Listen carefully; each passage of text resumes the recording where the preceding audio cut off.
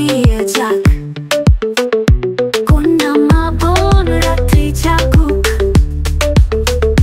দোষীরা সব ফাঁসি সাজা পাক। ধর্ষণ এবং শরীর বিক্রি শাস্তি